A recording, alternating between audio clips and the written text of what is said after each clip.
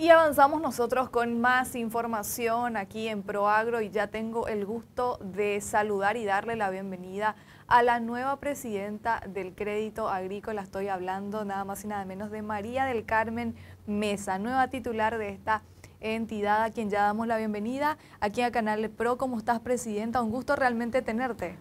Buen día, buen día, Katiuska y a toda la teleaudiencia. Un gusto para mí es estar acá compartiendo este espacio y bueno, hablando un poco de mi querida institución, el Crédito Agrícola, que me toca hoy el desafío y el compromiso un poco de estar al frente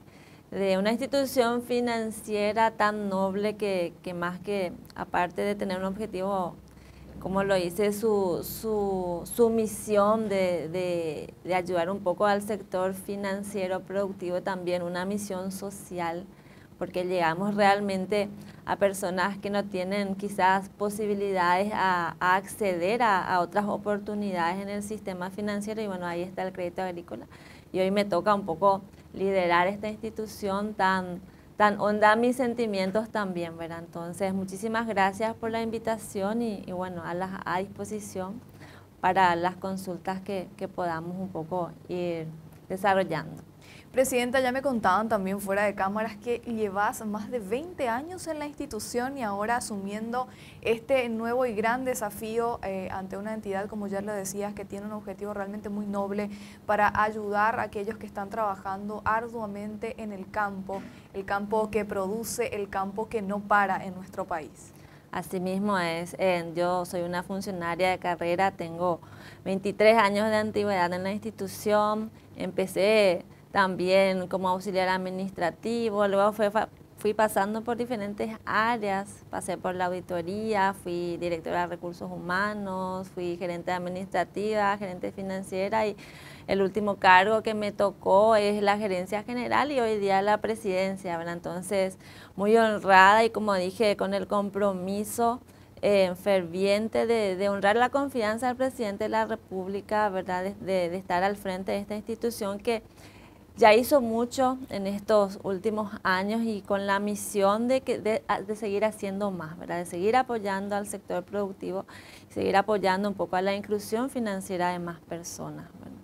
Presidenta, para aquellas personas que de repente todavía no saben qué es el crédito agrícola y para los que ya saben, por supuesto, también vale la pena eh, refrescar un poco la memoria. Contanos cómo funciona el crédito agrícola, porque estamos hablando realmente de una parte muy importante Estamos hablando de aquellos que de repente no tienen las mismas oportunidades de acceder a ciertos créditos eh, de otra manera en nuestro país. Así mismo.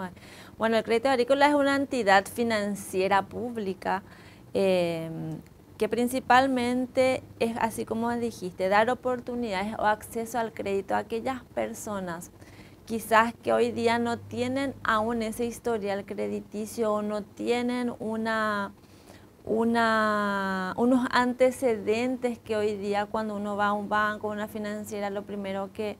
que piden un poco son los papeles, el respaldo, por, por supuesto, para, para, esa capacidad de, de, acceder a un crédito. Entonces, el crédito agrícola hasta ahí tenemos 82 sucursales en todo el país. tenemos más de 95 mil clientes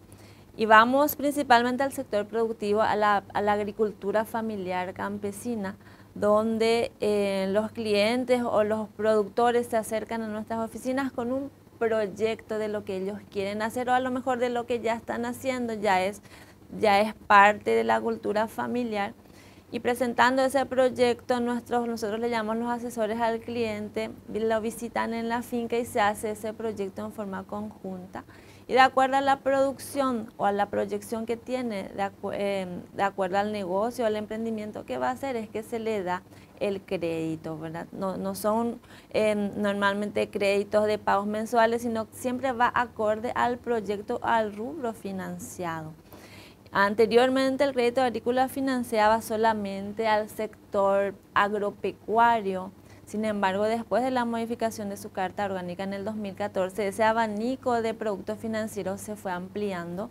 y hoy día también damos créditos a emprendedores, a pequeñas MIPIMES, al sector de servicios, comercios, que, que, quizás también están esperando esa oportunidad, ¿verdad? A jóvenes que a lo mejor están culminando las escuelas agrícolas, cursos con el SNPP, que necesitan ese pequeño capital semilla para emprender lo que,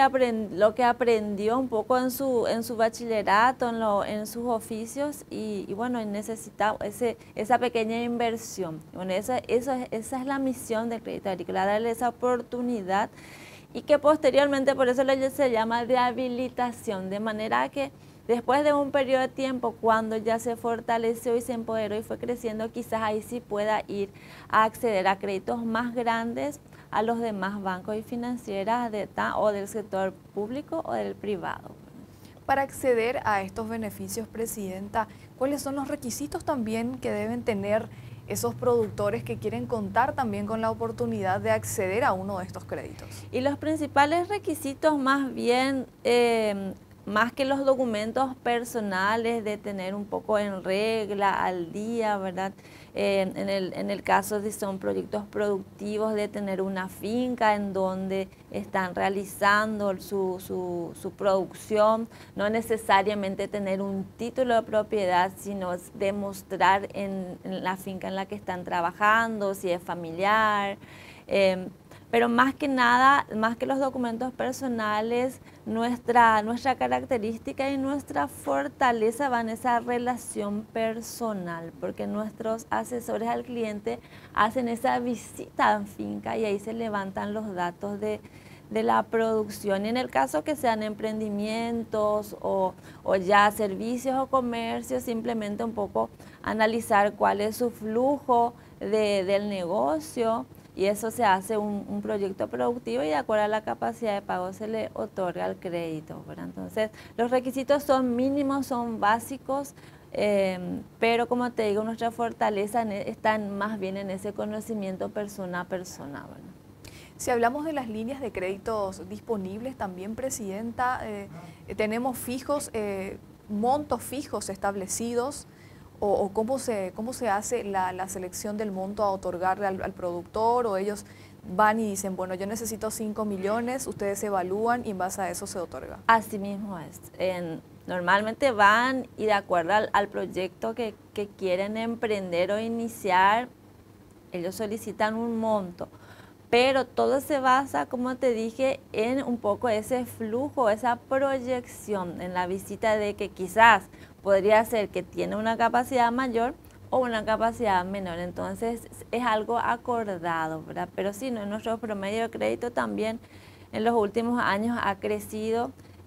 a, inicios de, con, el licenciado Serini, que era el presidente anterior, se, iniciaba con un promedio de créditos de, de 5 millones más o menos y eso fue un poco desarrollándose en la medida también que los clientes se van empoderando y hoy día que tenemos promedios casi de 10 millones de guaraníes. Entonces, eh, mucho es dependiendo de la, de la producción del proyecto o de, la actividad que, se quiere emprender o que quiere seguir creciendo. Presidenta, ¿recordás, ya que vos tenés muchísimos años dentro de la institución, eh, cómo cerraron el año 2022? ¿Cuántos eh, fueron los beneficiados, porque tenemos que resaltar también que benefician a uno, pero también hay como que toda una familia también detrás de ellos y hablamos de miles de personas. Asimismo, eh, nosotros en el, en el, año 2022 desembolsamos más de 430 mil millones en concepto de créditos a más de 45 mil clientes en el año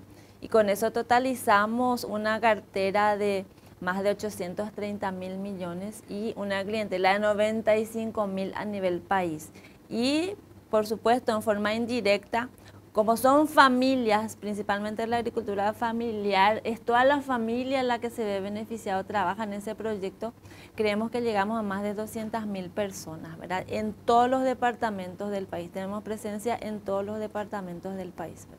Entonces,